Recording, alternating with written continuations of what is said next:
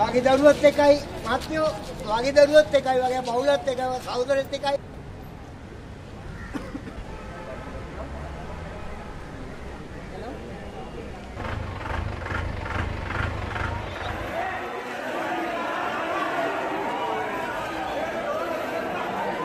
මෙම ස්ථානයේ සිදුව මෙහෙයුම් අතරතුර වූ පිපිරීම් හේතුවෙන් පොලිසි නිලධහරින් තිදෙනෙකු ජීවිතක්ෂයට පත්